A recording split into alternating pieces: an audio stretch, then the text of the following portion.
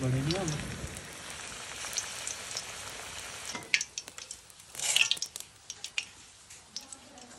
असलम ख़वान हजरात क्या हाल है? ठीक ठाक है? तो आपका भाई उस्मान अहमद आपकी खिदमत में फिर से आता है। अच्छा सीन ये हुआ कि इस तरफ़ से बड़े बादल आए हुए हैं चारों तरफ़ और ऐसे काले बादल हैं कि नेक्स्ट लेवल है। और अफ्तारी में भी टाइम थोड़ा है तो भाई ये सोच रहा है कि चलो जल्दी से ना कोई आज पकोड़े शकोड़े बनाते हैं कोई इस तरह का मौसम बना हुआ है हर तरफ़ बादल। और बादल ऐसे कि जैसे बड़ा कोई तूफानी सा तूफ़ान आने वाला है हर तरफ़।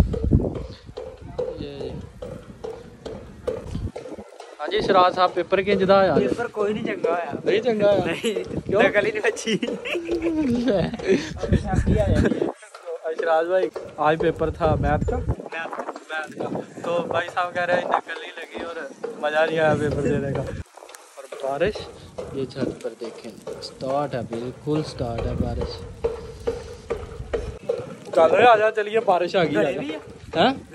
गड़िया का तो पता नहीं। लेकिन आ जान कोई पता नहीं। वो कबूतर फंस गए बेचारे वो ये कुछ किचन है? वो फंस गए हैं तूफ़ान में। खैर आज का व्लॉग ये इससे शुरू करते हैं। वेलकम टू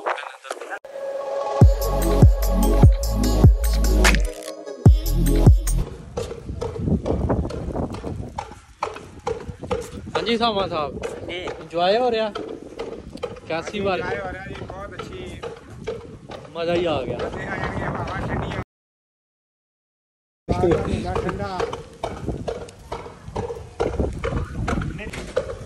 जल्दी से यार पकौड़ों का सामान वगैरह इकट्ठा कर लेते हैं, आलू शालू रहते हैं खाने वाले। वो दुकान अभी दूर है के पत्ते साफ़ हो रहे हैं, ये करके तो बाद में फिर डालना। इसमें अब जाएगा प्याज। ये आलू, प्याज और हरी मिर्च, ये साथ में ये धनिया, ये सारा ना इसमें तैयार है। ये इसमें जाएगा खुश्क धनिया उसके बाद ये लाल मिर्च जाएगी थोड़ी सी इसमें। तो ये हमारा जी पेस्ट तैयार हो गया। टाइम अभी है काफ़ी। साढ़े चार हुए हैं छः साढ़े छः बजे अफ्तारी है। तो इसको उतनी देर तक रख लेते हैं मसाला बना के। इसमें अब जा रहा है बेसन। बेसन को हिला के तो इसमें अब जाएगा नमक। नमक के बाद इसको ना हिला के मिक्स करके तो रख देना। टाइम अभी है, काफ़ी पड़ा हुआ तो फिर बाद में ना इसको बना लेंगे। तो ये भाई साहब तूफ़ान नेक्स्ट लेवल बाहर आपको दिखाता हूँ, बाहर क्या सीन है। ये देखें, बारिश फुल ऑन है फुल सीन ऑन है बारिश का। भाई साहब, इतना तूफ़ान है, इतना तूफ़ान है कि बस पूछो ही मत झालाबारी हो रही है छोटी छोटी ना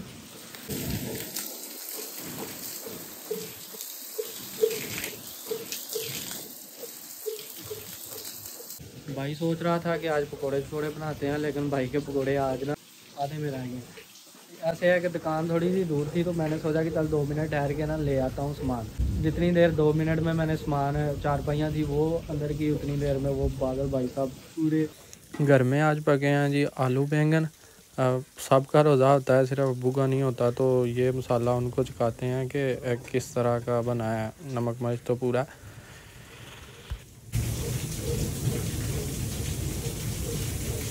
बन गई तो काट के रख दइए पकौड़े ਰੱਖ ਦਵੋ ਕੁਛ ਨਹੀਂ ਹੁੰਦਾ ਖਾ ਲਾਂਗੇ ਤੁਹਾਡੇ ਘਰੇ ਠੰਡੇ ਹੀ ਹੋਣਗੇ ਉਹ ਦਮ ਗਰਮ ਕਰ ਲਿਆ ਪਾਣੀ ਘੱਟ ਕੇ ਦਮ ਤੇ ਨਮਕ ਘੱਟ थोड़ा जैसा तो उत्ते निम्मा निम का पानी आएगा ਇੱਥੇ ਰੱਖ ਛੱਡਿਆ ਨਿਕਲ ਜਾਏਗਾ ਸੈਂਟਰ 'ਚ ਰੱਖ ਕੇ ਆਇਆ ਮੇਰੇ 2,000 years later. दोपहर लगातार कोई डेढ़ घंटा बारिश हुई है मेरे ख्याल में, पर हर तरफ़ पानी ही पानी। बाहर का व्यू मैं आपको दिखाता हूँ, इतना तो हो गया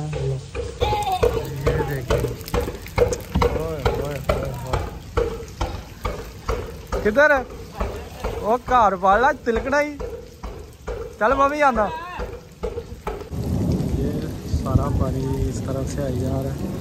ये वो वो बड़े नाले में जाना है अभी बारिश पूरी तरह रुकी तो नहीं है लेकिन अभी कम हुई है अभी और बादल हैं पीछे कोई पता नहीं जो और बारिश आ जाए पता नहीं इस दफ़ा क्या बना बारिशें हुई बड़ी रही हर तरफ पानी पानी तो बारिश की सुनाओ सुनाओ की हाल है ਮੈਂ ਤਾਂ ਉਹ ਕਹਿੰਦੇ ਨਾ ਆਣ ਕੇ ਫਸਿਆ ਤੇ ਜਾਣ ਕੇ ਫਸਿਆ ਮੈਂ ਸਵੇਰੇ ਇਹਨਾਂ ਕੇ ਸਲਾਮੀਆਂ ਦਾ ਹੁੰਦਾ ਕੁਝ ਨਹੀਂ ਵੀਡੀਓ तो ये सामने हमारे मोहल्ले का जो चौक है ना वो बड़ा है, जैसे कि दरिया ही बन गया वाह जी वाह।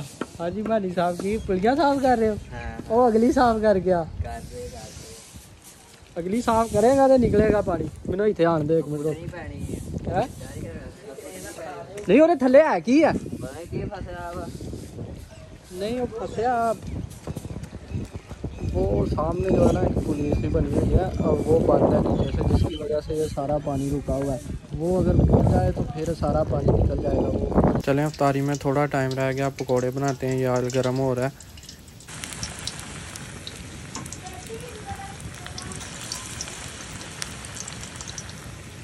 बड़े नहीं होंगे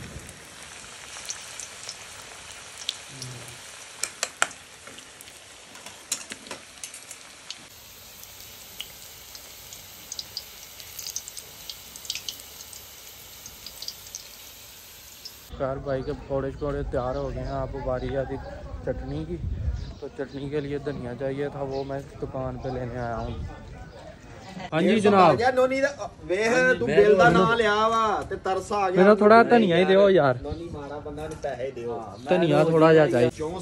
गुंजाइश दुआ जी रोजा रोजा ਮੈਂ ਅਫਤਾਰੀ ਵੀ ਕਰ ਲੈਣਾ ਹੁਣਾ ਕਰਾ ਦਾਂਗਾ ਇੱਥੇ ਕਰਾ ਦਾਂਗਾ। ਹਾਂ ਇਹ ਖੋਕਰ ਸਾਹਿਬ ਅੱਜ ਪੂਰੇ ਸਰੂਰ ਚ ਨੇ। ਅਸੀਂ ਹਰ ਟਾਈਮ ਹੀ ਸਰੂਰ ਚ ਰਹੀਦਾ ਯਾਰ ਉਹ ਧਨੀਆ ਫੜੀਏ ਪਰੇ ਦਾਦਾ ਨਹੀਂ ਸ਼ੁਕਰਾਨ ਸ਼ੁਕਰਾਨ।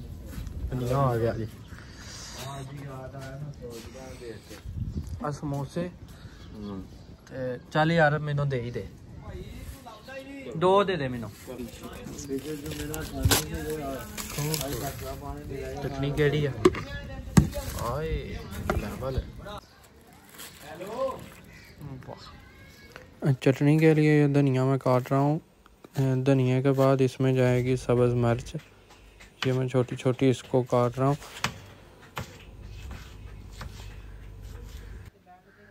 तो ये है साबुत मिर्च ये हरा धनिया, ये पुदीना है और ये खुश्क पुदीना है।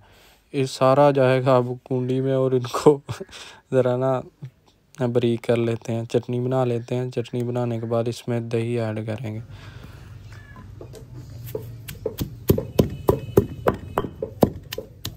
चटनी हमारी तैयार है और इसमें अब थोड़ा सा लीमू डाल के तो इसमें हम ऐड कर देंगे दही। लीमू से ये होता है कि कलर इसका बड़ा प्यारा निकलता है। चलें जी, अब दही की बारी। दही गया तो इसको ज़रा सा फिर ना हिला के तो ये तैयार है अपनी चटनी।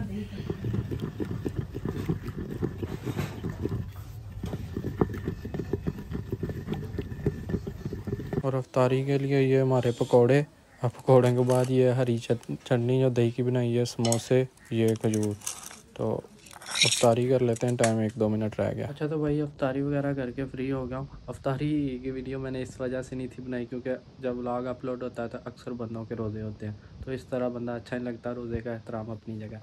तो खैर वीडियो पसंद आई तो लाइक और सब्सक्राइब लाजमी करिएगा। भाई को दुआओं में याद रखिएगा। और हाफ़